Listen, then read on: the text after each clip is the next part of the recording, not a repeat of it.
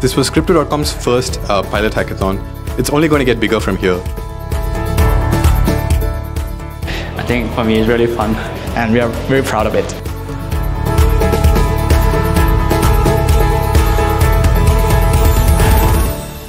It has provided us with an amazing opportunity to, to network and have fun in, in hacking out a real prototype together.